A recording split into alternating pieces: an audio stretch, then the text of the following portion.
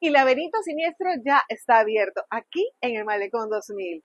Aquí encontrarás 12 estaciones escalofriantes. Podrás encontrar zona radiactiva, la llorona, efectos especiales, además unos personajes que no te dejarán dormir.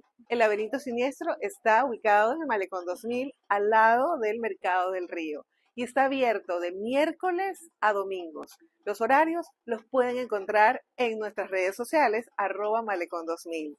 Miércoles y jueves el laberinto cuesta 3 dólares y los fines de semana y feriados cuestan 4 dólares. ¿Te atreves a venir con tus amigos a vivir esta experiencia escalofriante?